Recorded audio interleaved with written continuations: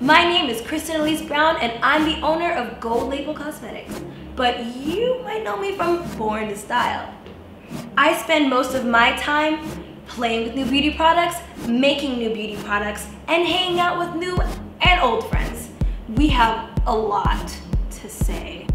So meet me on YouTube, Periscope, my podcast every week as we discuss the big and the small of it all. We are more than a pretty face, am I right?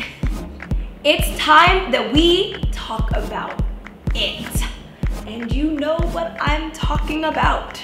We're talking about emerging multi-ethnic beauty brands, their owners, their consumers, what we consume on a daily basis, news, and social media.